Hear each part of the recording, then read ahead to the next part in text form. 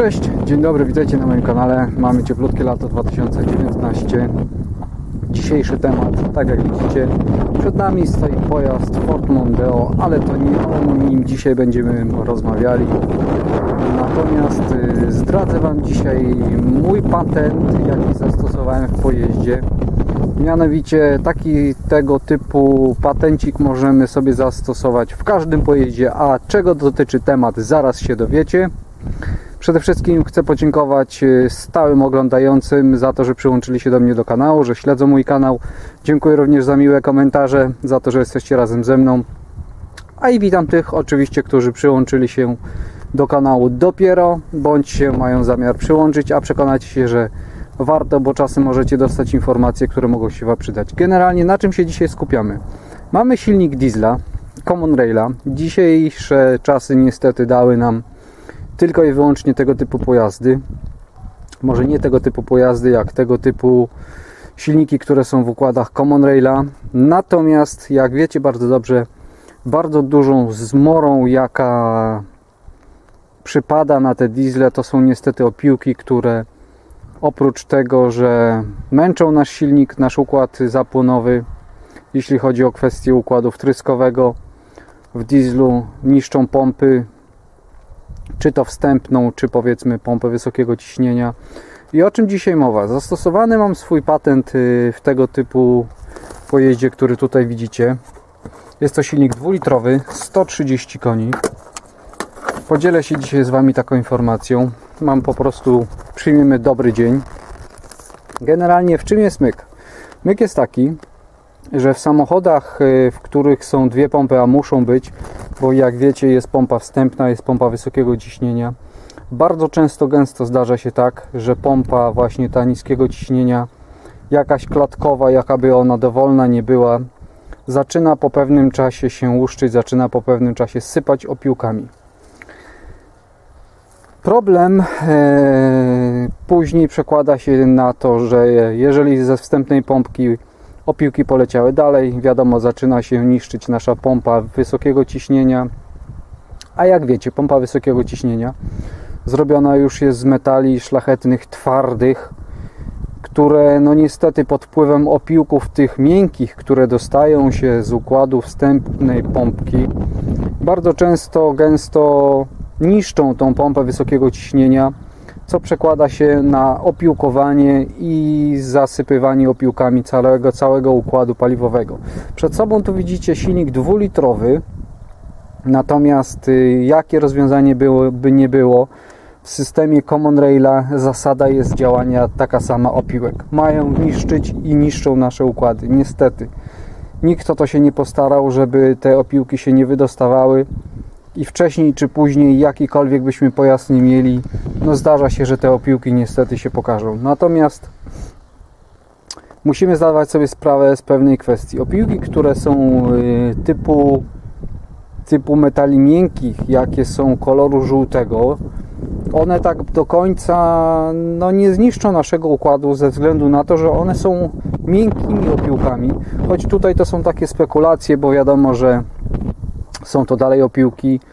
Y, wiadomo, że dalej one zrobić spustoszenie mogą, nawet jeżeli one by były z miedzi, to i tak musimy wiedzieć, że one by zacierały, choć miedziane nie są. Natomiast rzecz jest jaka? Tego typu opiłki nie czepiają się również magnesów. Natomiast y, w bardzo dużej mierze musimy sobie zdawać z tego sprawę i tak niestety jest, że te opiłki miękkie, które się dostają, przyjmujmy w cudzysłowie miękkie, które pochodzą z tych pompek wstępnych, czy powiedzmy z tego, co my zatankowaliśmy, bo równie dobrze może się zdarzyć tak, że zatankujemy paliwo, w którym już były opiłki, no i niestety sytuacje z życia wzięte pokazują, że takie rzeczy się również zdarzają. A później jest sytuacja tego typu, że jeżeli zacznie się już niszczenie naszej pompy wysokiego ciśnienia, bądź w układzie paliwowym pojawiły się opiłki twarde, czyli takie jak powiedzmy, no może nie wióra, bo wióra to już by była lekka przesada, natomiast takie, które wytwarzają się z układu yy, powiedzmy sekcji gdzieś tam tłoczącej, czyli powiedzmy ta nasza pompa wysokiego ciśnienia zaczyna delikatnie się przycierać, powiedzmy powstaje jakieś tarcie, gdzie te opiłki już zaczynają się robić bardziej tragiczne dla wtrysków. Niestety zniszczą nasz układ wtryskowy łącznie z wtryskami, z końcówkami zabiją. Natomiast można się po części zabezpieczyć tym, y, tylko rzecz jest jaka, y, w każdym pojeździe jest listwa, nie w każdym pojeździe jest listwa tego typu, jak jest na przykład tutaj, którą widzicie przed sobą. Tutaj w tej listwie mamy czujnik wysokiego ciśnienia zamontowany tam, na końcu wtyczką, dokładnie tutaj, to co widzicie fioletową wtyczkę. Tutaj mamy śrubę technologiczną, dzięki której y, nastąpiło rozwiercenie tej listwy przez producenta w fabryce, bo inaczej jej rozwiercić by się nie dało. Mówimy tutaj oczywiście o tej śrubie, którą widzicie teraz na środku ekranu. Natomiast ja Wam pokażę pewną rzecz, którą wykonałem u siebie w pojeździe i ona naprawdę się sprawdza. W każdym bądź razie przechodzę do setna sprawy odkręcę i za chwilę Wam pokażę, co zrobiłem. Do tego ja potrzebuję śrubokręt krzyżakowy, potrzebuję klucz 19, jakąś dłuższą przedłużkę i biorę się za odkręcanie i za chwileczkę Wam pokazuję, także spotykamy się za chwilkę. Do zobaczenia. I oczywiście spotykamy się po krótkiej, szybkiej chwili. Jak widzicie, co u mnie się zmieniło? Zginęła szmatka, która podeszła tu w to miejsce i co oprócz tego się zmieniło? Śruba, która jest zaślepką w listwie u mnie najnormalniej w życiu została zdemontowana. Może tego w tym momencie do końca nie widać.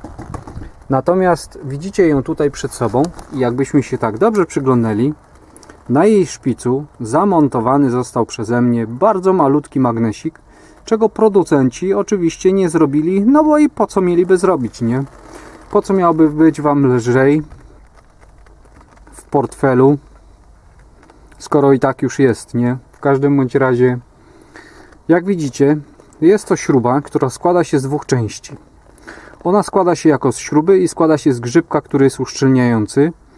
Także spokojnie możemy taką śrubę odkręcić kluczem 19, bynajmniej w tym przypadku. I tak jakbyście chcieli sobie zobaczyć, czy faktycznie ma to sens, zwróćcie uwagę, nie wiem czy to na nagraniu będzie widać czy nie, na czubku tego magnesu został zgromadzony już jakiś tam, nie wiem, opiłek czy cokolwiek, w każdym bądź razie jakiś, musi być opiłkiem, skoro się przykleił do magnesu.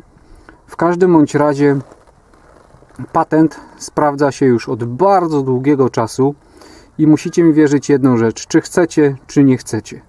Natomiast ja odkręcam średnio powiedzmy co 10 tysięcy taką śrubę. Czyszczę magnes najnormalniej w życiu, tak jak kiedyś robiło się czyszczenie przy odkręceniu śruby od oleju z miski olejowej. Kiedyś producenci robili magnesy i chwała im za to.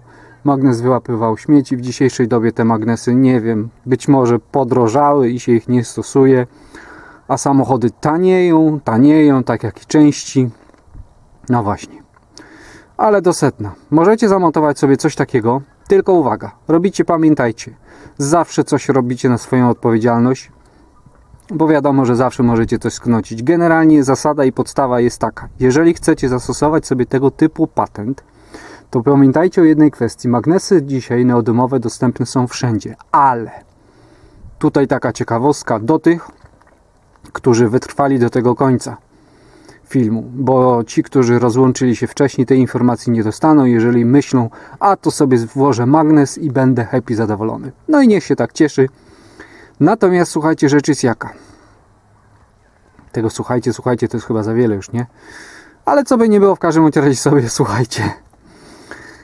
Magnes neodymowy, jaki możecie sobie kupić i nabyć, zdobyć, cokolwiek byśmy nie chcieli z nim zrobić, żeby go tylko posiadać, musi mieć właściwości wytrzymałości na wysoką temperaturę. Wysoka temperatura, mówimy tutaj o temperaturze rzędu powiedzmy 100, nawet i ponad 100 stopni.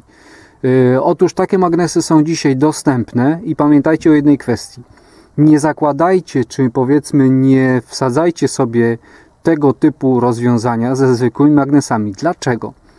Dlatego, że jak każdy magnes neodymowy przy wysokiej temperaturze traci właściwości magnetyczne, czyli wasza robota pójdzie na marne, gdy paliwo w układzie wtryskowym otrzyma temperaturę powiedzmy tych kilkudziesięciu stopni, to wasz magnes zacznie powoli tracić właściwości.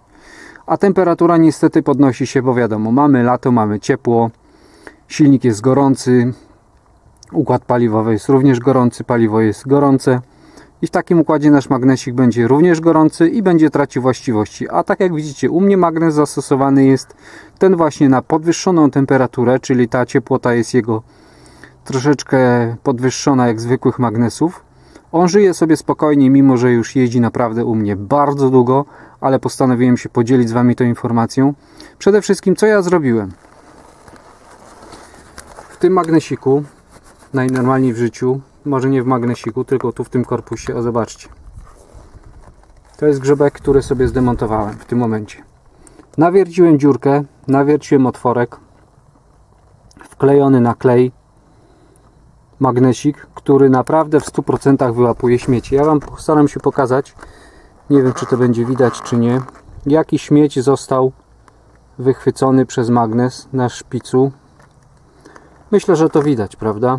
W każdym razie to coś, gdyby magnesu nie było, trafiłoby już do układu wtryskowego i chciał, nie chciał, jeżeli nawet w tym samochodzie ja wymieniam filtr co 10 tysięcy, to zobaczcie jedną rzecz. Taki opiłek, taki śmieć przedostał się do układu paliwowego, nie wiadomo skąd. Być może gdzieś został oderwany od filtra, od filtra paliwa. W każdym razie tego nie wiemy i dochodzili nie będziemy. W każdym razie składamy to do kupy, skręcamy naszą listwę. Troszkę dłużej wiadomo, że musimy zakręcić, ponieważ z listwy wyleci paliwo, dlatego podłóżcie sobie jakąkolwiek szmatkę i tego typu rzecz możecie zastosować w każdej listwie, w której macie śrubę y, taką technologiczną, gdzie otwór jest zaślepiony i nie wierzcie w takie bzdety, że śruby nie wolno odkręcać, bo co? Bo się ukręci. No jak się ukręci, no to już nic nie poradzimy. Natomiast pod śrubą pamiętajcie, musi być zaślepka tego typu, która uszczelnia, trzyma naszą listwę bo jak wiecie na naszej listwie ciśnienie jest w stanie osiągnąć wartość tak jak w tym przypadku nawet 1800 barów. No i niestety ta nakrętka, ta śruba potężna, która jest tutaj, ona musi to ciśnienie wytrzymać, utrzymać. Ale całą robotę robi właśnie ten grzybek, który na stożku uszczelnia nam w środku. Także jak filmik się będzie komuś nadawał, przydawał to poproszę łapeczkę w górę w formie podziękowania, że podzieliłem się z Wami taką informacją jest to patencik po części, którego pewnie Wam nikt nie będzie chciał zdradzić, bo jeżeli sobie zrobił, to każdy trzyma coś dla siebie. W każdym bądź razie dla siebie. O! W każdym bądź razie ja się dzielę z Wami taką informacją. Zapraszam do subskrybowania kanału. Oczywiście coś tam zawsze nowe, jakieś wiadomości ode mnie uzyskacie. I co mogę jeszcze powiedzieć? Kurczę, zapraszam, słuchajcie do tego, słuchajcie, no kurde, no ale słuchajcie, nie?